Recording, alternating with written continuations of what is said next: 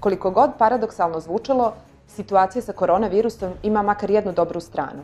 Sve je manje politike zasnovane na mržnji, nacionalnim ili vjerskim podjelama, a sve više građana počinje da cijeni struku, znanje i konstruktivnost. Kada je najteže, uočava se razlika. Umjesto kritika, uvreda i bespotrebne buke, URE je izabrala ono što nas je oduvijek razlikovalo od drugih. Mi nudimo rješenja. Do sada je vlada Crne Gore usvojila sljedeće mjere koje je predložila URE. Odlaganje plaćanja kredita na tri mjeseca za sva pravna i fizička lica koja to žele. Olakšice pri kupovini za penzionere i ugrožene kategorije na način što su prva dva sata radnog vremena svakog marketa rezervisana samo za njih. Zaposlenima na trafikama skratili smo radno vrijeme i poboljšali zaštitu na radu. Odlaganje plaćanja rente sve korisnike morskog dobra. Predložili smo i druge mjere koje čekaju na usvajanje, a od njih vrijedno je pomenuti.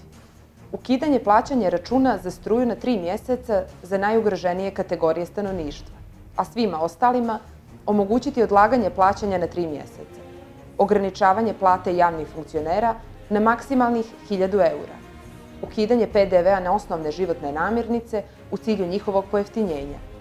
Tu su i mjere za pomoć turističkoj privredi. Privatni smještaj osloboditi poreza nekretnine. Za hotele i turističke agencije omogućiti refinansiranje zarada zaposlenih u bruto iznosu preko nove linije kredita. Omogućiti kreditiranje hotela sa grace periodom od godinu dana sa ciljem očuvanja radnih mjesta. Ovo je samo mali dio onoga što smo pripremili i što ćemo predstaviti u narednim danima.